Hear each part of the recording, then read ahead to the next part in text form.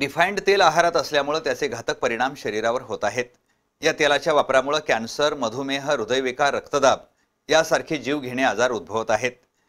रोगमुक्त जीवन जगण्यासाठी पारंपरिक लाकडी घाण्यावरून तयार केलेल्या शुद्ध तेलाचा वापर आणि सेंद्रिय अन्नपदार्थांचा वापर करणं गरजेचं आहे असं प्रतिपादन अदृश्य काळ सिद्धेश्वर महाराज यांनी केलं.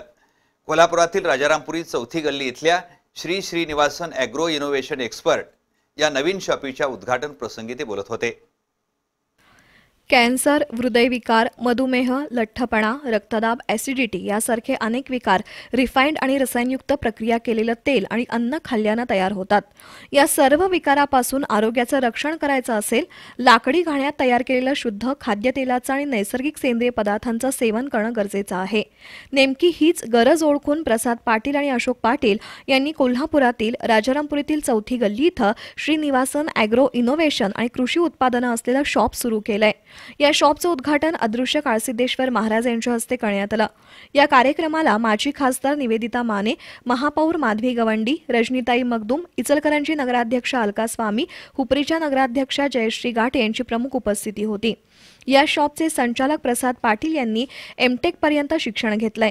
चांगली नोकरी तसंच जर्मनीला जाण्याची संधी धुडकावून नैसर्गिक शेती उत्पादन ग्राहकांना मिळावीत म्हणून ते या व्यवसाय दाखल झालेत.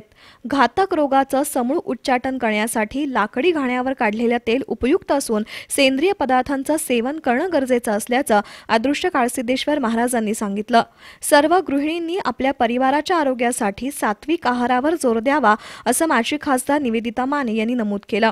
श्रीनिवासन शॉपीमध्ये लाकडी घाण्यावरचं शुद्ध तेल खोबरेल तेल करडई तेल तीळ तेल बदाम तेल मोहरी तेल जवस तेल वेदिक तेल देशी गाईचं शुद्ध तूप सेलम हळद सैंधव मीठ आणि अन्य आरोग्यदायी उत्पादनं मिळणार आहेत असं संचालक अशोक पाटील यांनी सांगितलं. यावेळी नीता माने जोशना चराटी सरलाताई पाटील अशोक स्वामी दीनानाथ सिंग अशोक चराटी नगरसेविका प्रतिज्ञा उत्तुरे नगरसेवक संदीप कवाळे राजू अपराध महादेव पाटील उपस्थित होते.